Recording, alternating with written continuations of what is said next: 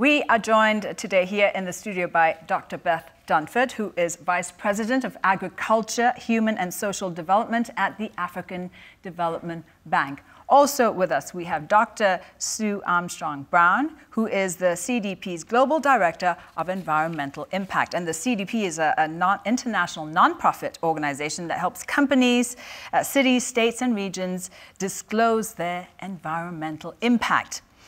Valerie Mazon is a general manager of Danone Communities at French food giant Danone. Thank you all, ladies, for being here with us, for taking time to be in the studio with us.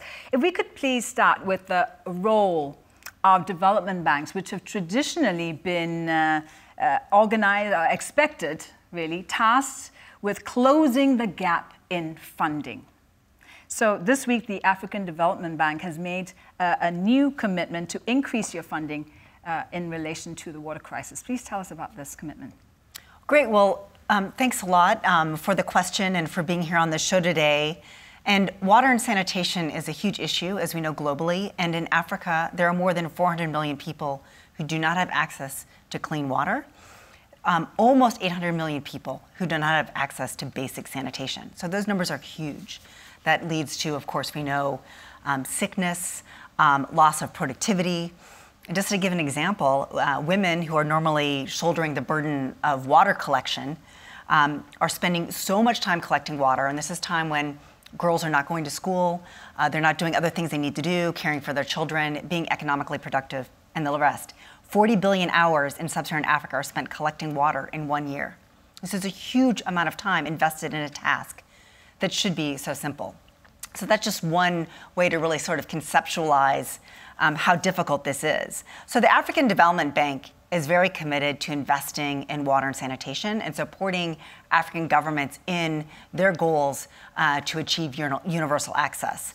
And so over our five-year strategy, 2021, 2025, committed to investing um, $6 billion in the water and sanitation sector. And so, you know, as we heard, you know, that's that's not going to be enough. This is an important investment. We're very committed to doing it. Um, but it won't be enough to, to gain universal access as, as we're talking about. So, what does that mean?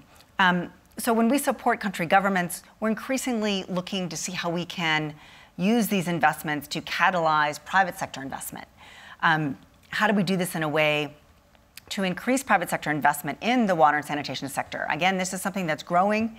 And you know, increasingly governments are looking towards public-private partnerships where governments de-risk investment either by funding part of the project, some of the infrastructure around it to make to lower the barrier to entry and make it cheaper, or by getting guarantees on loans. So there are many, many different ways to really de-risk private sector investment in something that heretofore, you know, we haven't really seen private sector lead the way. So really we can then sort of, you know, multiply our investment um, several fold, fold. So I think that's the way to do it. Now, importantly, um, to do this, it's really important to make sure that you know projects are well developed, um, and and I can talk a little bit about that more later if you'd like. So this new commitment, yeah. where do you think it's going to make uh, the biggest impact? So I think that th this commitment will make the biggest impact in places where, again, we can work with governments to um, design very well prepared projects, investable, bankable projects that can attract the most private sector investment. And in places where governments are looking to the private sector to really invest in their water and their sanitation sector, because that brings not only a lot of resources that are very much needed, but also brings innovation, creativity, technology that is really, really important to advance uh, the water and sanitation sector. You started to talk about this, but uh, is it enough? We know it's not enough. Financing from uh, development banks. How much of a gap are we, are we talking about here? Well, you talked about over a trillion dollars of investment globally. Um, you yes. know, a large portion of that, of course, is in Africa, where the sort of access is is lower than in other places. So it's going to take a lot. And I think, you know, I'm, we're talking about here, you know, significant public sector investments, private sector investing in big, you know, large infrastructure projects that are needed. But again, we also have to think outside the box. How do we get, you know, urban sanitation uh, working? Now, it might be, you know, large piped sewer systems. Uh, but there might be other creative entrepreneurs. How do we support more entrepreneurs to come in this space with out of the box ideas about how to deliver sanitation in a way that, again, really, you know, really speaks to that circular economy where we can have localized systems that uh, provide a sanitary environment, but also use um, you know, the products of that sanitization to to you know, uh, provide fertilizer, uh, biogas, and the like. So really getting that creative solutions from private sector actors um, to really deliver sanitation and also productive uses at the same time. So we've been uh, in our last show. We were talking about uh, the Global Commission on uh, the Economics of Water. They have uh, their inaugural report out, and they talk about a new economics of water, including the need to change the current thinking that public institutions such as the African Development Bank are meant to uh, close the gap.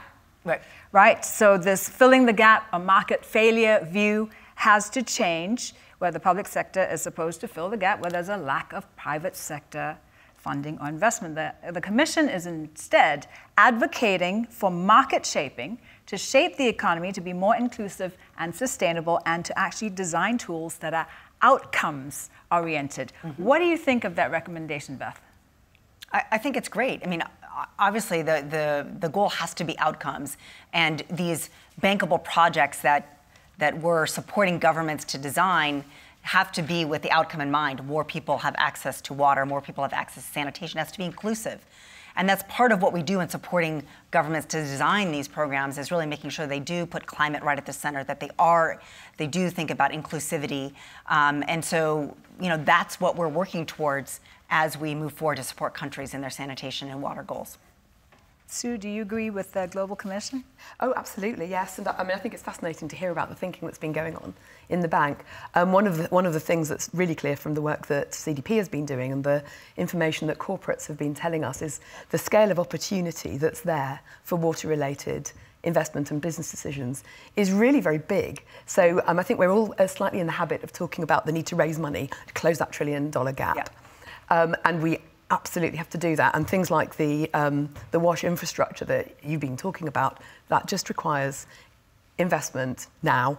Um, but even there, it's an opportunity. Um, some of the corporates that disclose to us have told us that where they have made that investment and they have brought the pipes and the pumps and the taps and the toilets to the communities that are their employees, they see a reduction in sick days, they see higher productivity. So even that investment, which needs to be made in any case, actually represents, if it's, if it's processed in the correct way and is understood, that's a business opportunity. Uh, we're going to look at uh, more CDP research uh, very shortly, but Valerie, first, what's your perspective? Is it time for a new economics of water? I think it's interesting what you are saying, and we see uh, the role of uh, indeed Bank of Development and corporates. When you are talking about new enterprise thinking out of the box. This is really what we are seeing on the field every day. You know, I'm going on the field very often and I meet entrepreneurs, I meet uh, consumer, and they are, in fact, on the market solution. Uh, I'm more on water access, yeah. uh, but there are solutions on the market in which you can invest. Mm-hmm. They are small today, but they can scale. So for me, there is a huge opportunity, and this is what we do at uh, Danone. So I completely align with what you are saying, and there is a role for corporate and bank of development. Yeah.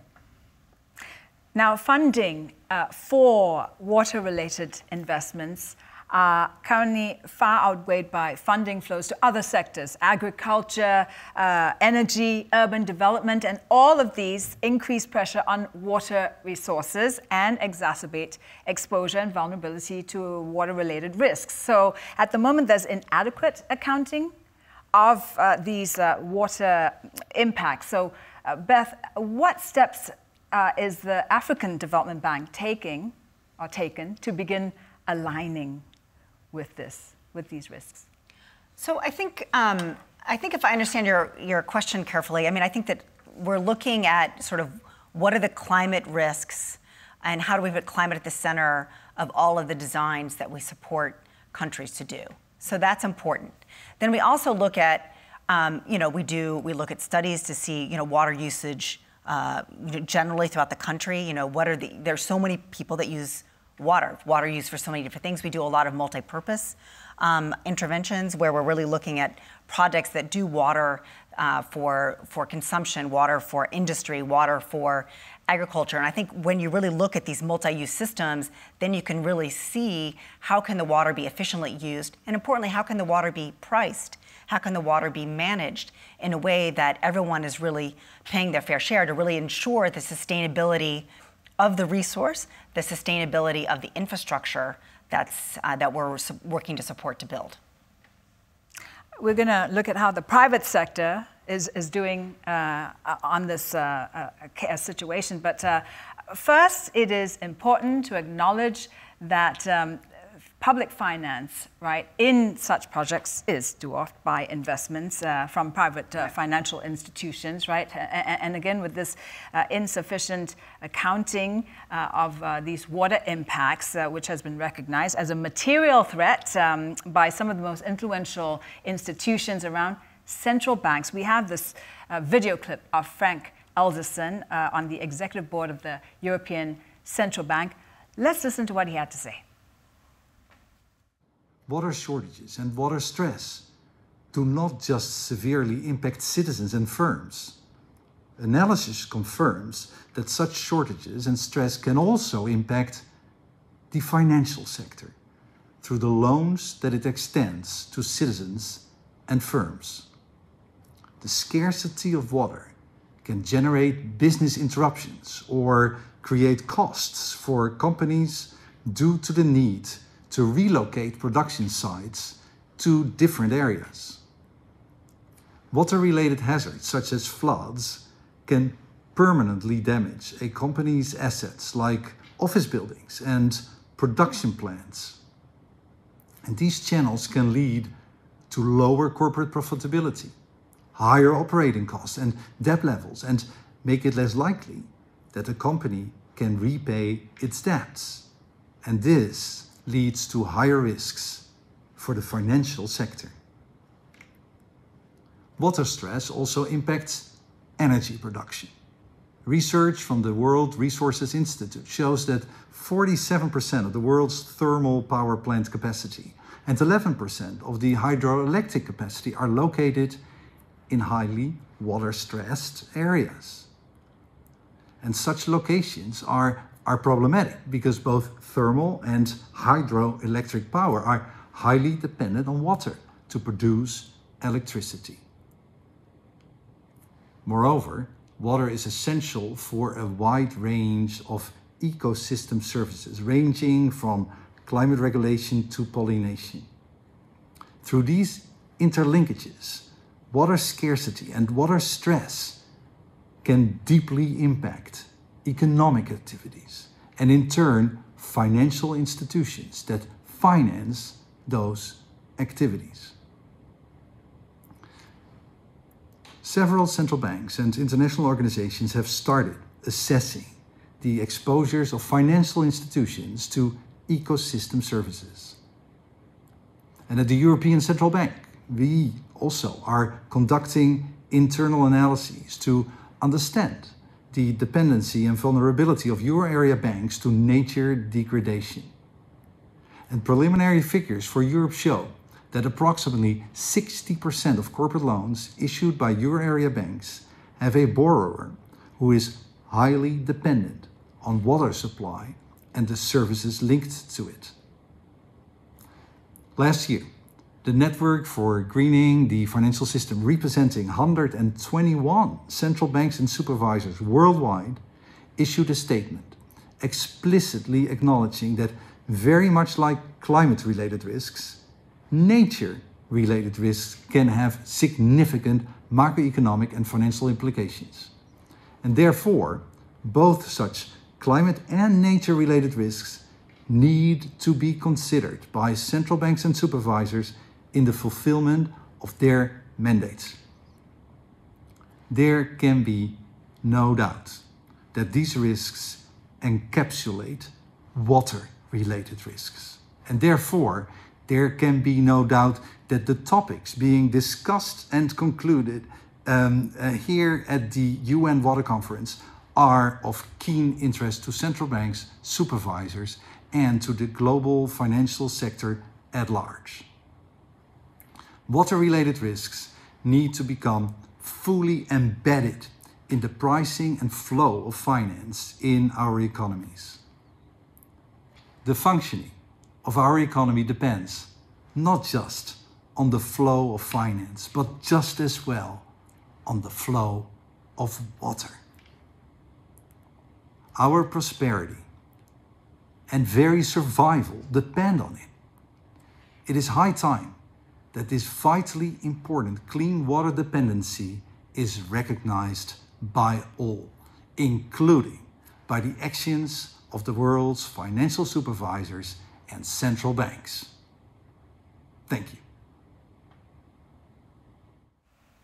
So that was Frank Elderson of the European Central Bank. Now, Sue, uh, do we know how much money is actually flowing uh, into companies and projects which uh, could actually be making the water crisis worse?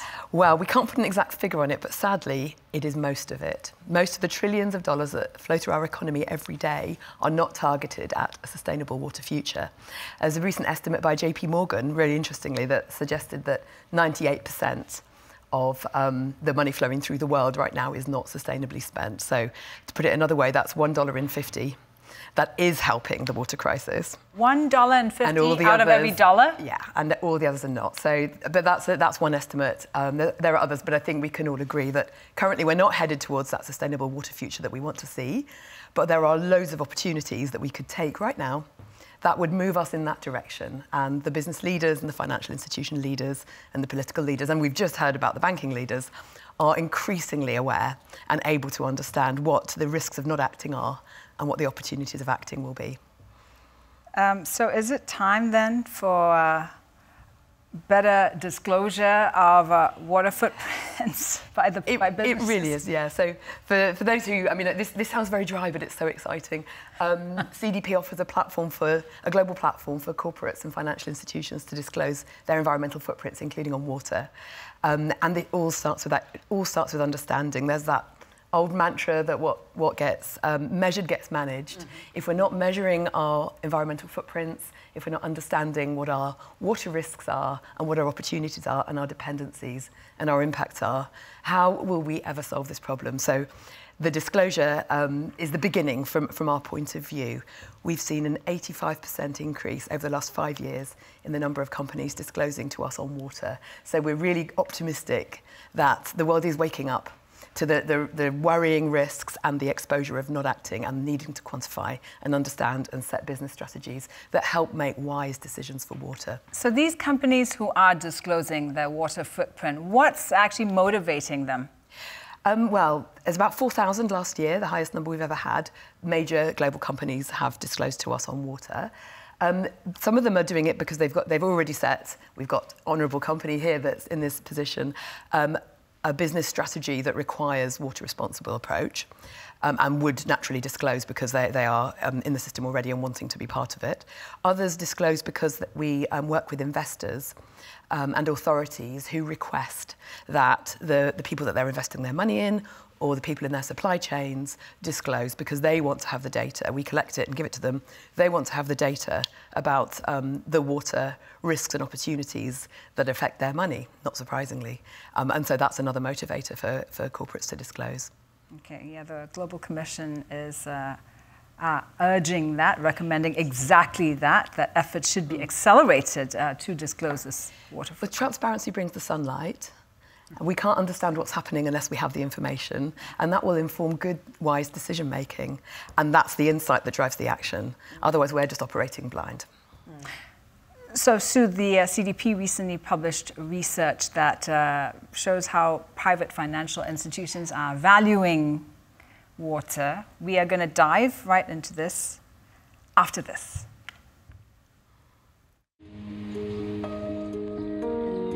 Here in South Africa, our climate is very close to the tipping point in terms of rainfall and temperature change.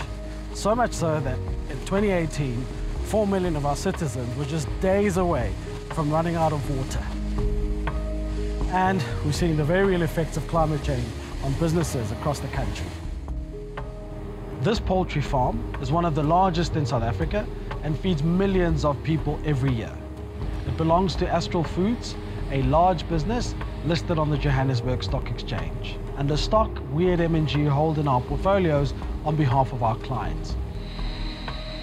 Clean water is essential for a facility like this to operate.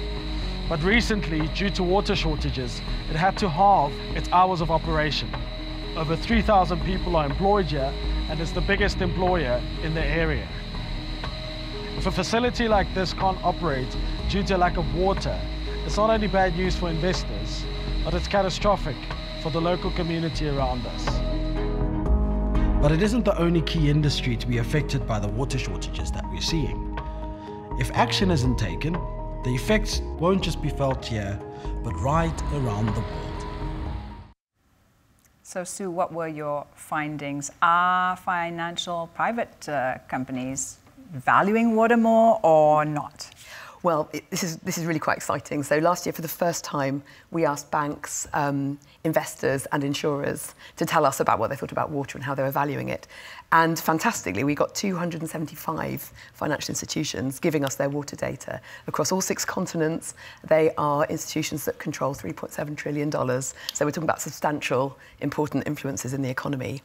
Um, and and that sets a really interesting baseline for us. It's obviously the, first year we've done it, so we don't, we can't tell any trends here. But we're very optimistic that um, that number will grow because one of the things that they told us was that they can identify water-related opportunities worth more than $200 billion. And that wasn't all of them. Not all of them had done the sums yet. As a proportion of those disclosures had done them and were identifying water-related opportunities at that scale, which says that as soon as this information is available, um, it's going to be attracting more interest. Others will also be assessing what their opportunities will be, and that's going to drive an increase. That is encouraging, but 275 institutions, it's a drop in the bucket, really, uh, isn't it? So time is against us. What's the quickest way to educate the sector and shift investments in the right direction? Yeah, no, time is against us. Um, that 275 was only about, about 20% of the financial institutions that we asked to disclose to us. So we'd like the other 80, please. Um, but yes, we can't, we, we have to uh, advance on all fronts. So there's a number of things that, that can accelerate the pace of change. One is government action. So moving to mandatory disclosure, we were talking about the, the reasons why a, a company or, or a financial institution would disclose. Um, governments requiring them to do so is one reason. Uh, at the moment, only of, of the, all the G20 members, it's only the EU and the UK that have a really comprehensive set of requirements for water. So that's certainly space to grow there. Government action could drive it. We don't have to wait for government action. We don't always see that moving as swiftly as we would like. So probably the best way is to grow awareness of the opportunities and the risks. There's, our last year's results showed that there are $15 billion worth of assets either stranded or at risk because of water, water related issues, and that's, that's just not something companies can bear. So the more we can grow awareness and also grow capacity in, in our economic sectors so that people can address and understand them and mo most importantly take action in the way that you're supporting. Um, it all comes to nothing if we can't facilitate action and awareness is the first step that we can take. Yes, talk alone is not going to solve this crisis. So $200 billion of opportunities, at least, right? Valerie, what do you think it's going to take uh, to boost interest in water related investments? Isn't $200 billion enough? well, I think it will take time, unfortunately, but we need to act now. And I think we need proof of concept. Need, we need to prove that it works, that there are opportunity and that we, we can make it working. And from there, we can replicate and scale. And this is really what we would like to do, at least at uh, Danone. We're going to talk about what Danone is doing very shortly. Beth, first, what do you think is going to help attract more investments into water-related investments? Well, well, thanks. I mean, we need a ton of investment, and then you look at a continent like Africa, we need even more, right? And then it's seen as a riskier place to invest. So how do we get companies like Danone, who are trying really innovative things, to come to Africa and come to some, you know, across the continent to really roll out these investments? And I think that's where, again, you know, how can we partner with companies like Danone, uh, like any like companies everywhere, all different sizes of companies, to really help them invest in places where they might need a little bit of support to lower the barrier to entry, a little bit of support to de-risk the investment. Um, how do we build the capacity of some of these smaller enterprises with very, very creative ideas to get them to invest. And I think that's where, again, this blended finance really, really plays a role, and that's where we're going with the African Development Bank. All right, let's look at some solutions now. Uh, Valerie Danone has just launched a new fund uh, for access to water. Please tell us about it. Yeah, so Danone with Incofin has just launched last week uh, a new fund which is called Water Access Acceleration Fund. And uh, really the idea behind is, uh, first of all, Danone is committed for, for years uh, to give access to safe drinking water to as many people as possible. We have started 15 years ago with uh, the impact investment fund of Danone called Danone Communities. Uh, I mean, 15 years ago, it was, it was quite uh, uh, visionary to decide really to finance small water enterprise locally to give access to safe drinking water. And after 15 years, we have a portfolio already of 12 businesses. So it's a small unit of water. They treat the water locally and sell it at a very affordable price to the community. And those businesses are reaching every day 10 million people. So 10 million people every day have access to safe drinking water through uh, those businesses. And as I was saying, I'm going on the field very often, and I witness when I discuss with consumer and water entrepreneur the power of this solution, but also the obstacles. And the power, it works. It gives access to the family around. It has an impact on health. It has an impact on gender equality. Mm-hmm. It has an impact on education. So it works. There are solutions. And we have seen also throughout those 15 years more and more small uh, enterprise like that. So the sector is getting mature, more mature to get invested. The obstacle is the fund. So very often they have difficulty to find fund in order to grow faster. So that was the idea behind this fund. So it's a very pioneer fund uh, that has been launched within Incofin last week. Why is it called a pioneer fund? Why uh, Incofin? Alors, um, why pioneer? First of all, because it's only dedicated to safe drinking water. There is no other fund dedicated to safe drinking water. You have lots of wash fund, which is really good, but none on uh, uh, only uh, water access. Uh, it's impact first. So it means that uh, the asset manager will be paid only if the impact is reached, which is very unusual. Outcomes oriented. Yes, exactly. Right. And the objective is to reach 30 million people by 2030. And the third element for which we call it pioneer, it's because it's blended finance mm-hmm. and it's with partners. So in fact, in this fund, you have corporates, but you have Bank of Development, the DFC, yeah. IFE, IFU, Norfund, uh, financial institution. And the idea was really to partner all of those uh, actors in the same fund in order to show that we can work together to impact uh, at scale. So what next, Valerie? Ah, next. so we have just closed, the, fir the, first closing was at 36 million, and we are looking at the second closing between 50, 70 million, 70 million. So it's a call to action to any other investors or corporates. If they want to invest in the fund, please reach out to us.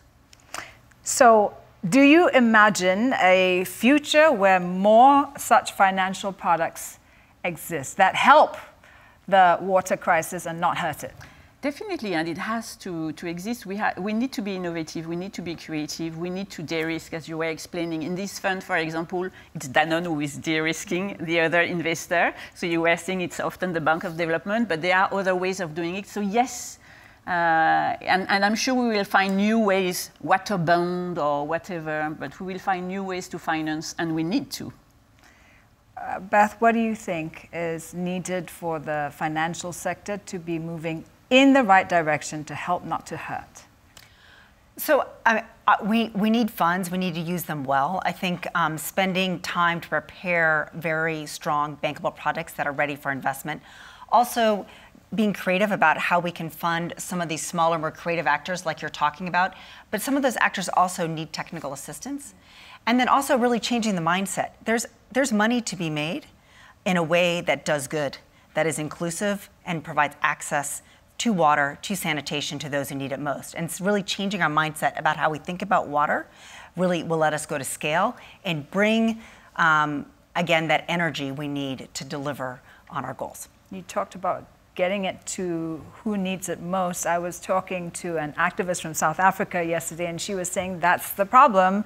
Money gets uh, you know donated, uh, and then it gets stuck in bottlenecks with bureaucracy or, or whatever else. And so now um, she's just received direct funding to her project versus it going to a big uh, hole. So that's, that's one, one way to uh, approach it as well. Your thoughts, Sue, what, what comes next? What do we need to move forward? Well, I think one of the things that we need to be really clear about is the vision. Because I think we have all been in the habit of um, talking about conservation action or development action kind of as an add on or to limit the damage of the economy. If we're talking about getting all those trillions of dollars that are flowing through the economy to work for a water secure future, mm. we talk about moving water out of the boiler room and into the boardroom. So having organisations that are running in a water secure way, they get the benefit of more efficient use. They're not having to pay pollution fines. They're managing to support the communities that they depend on, who are healthier as a result. And that's integrated through the entire business and then through the economy banks will want to know that they're not making investments or loans that are water insecure, that, that are at risk of being stranded or at risk of being compromised by any of the water problems that we know exist.